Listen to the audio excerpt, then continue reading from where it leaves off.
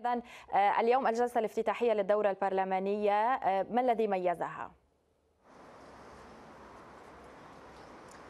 نعم هبة. اليوم ميزها حضور كامل أعضاء الحكومة والوزير الأول عبد العزيز جرات. وأيضا كانت جلسة يعني نستطيع أن نقول أنها مشتركة لأن افتتاح دورة البرلمانية والبرلمان الجزائري لديه غرفتين. غرفة سفلى التي هي المجلس الشعبي الوطني وثم الغرفة العليا والتي نحن يعني أمامها الآن وهي مجلس الأمة. يعني كان هناك يعني ثقة كبيرة من في النفس من طرف ربما النواب ومن طرف أيضا رئيس المجلس الشعبي الوطني سليمان شنين وأيضا قجيل رئيس مجلس الأمة بالنيابة وبالتالي الكل يركز على ما هو قادم وما هو قادم سيكون ربما حملا ثقيلا على البرلمان الجزائري الذي يواجه انتقادات كبيرة في مناقشة مسودة الدستور لاحقا طيب كريم ما هي أبرز التحديات التي تواجه البرلمان اليوم بغرفتيه؟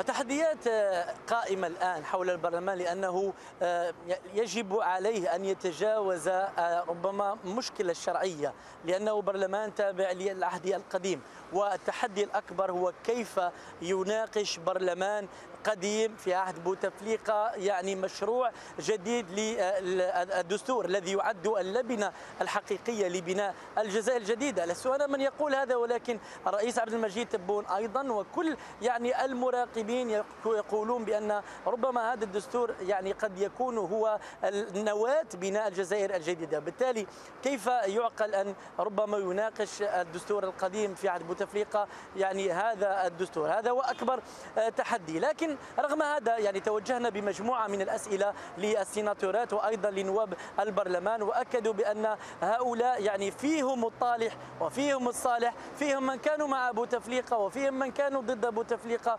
وركزوا كثيرا على أن الوقت الماضي شهد يعني تغييب لفعالية ودور البرلمان وبالتالي يعني كل مؤسسات الدولة كانت معطلة ولا يجب إلقاء اللوم على البرلمان وفقط مطالبة الشعب ربما أو المراقبين بضرورة حل المجالس الشعبية والولائية وحتى وصولا إلى الغرفة العليا والسفلى للبرلمان. شكرا جزيلا لك مراسل الغد من الجزائر كريم قندولي.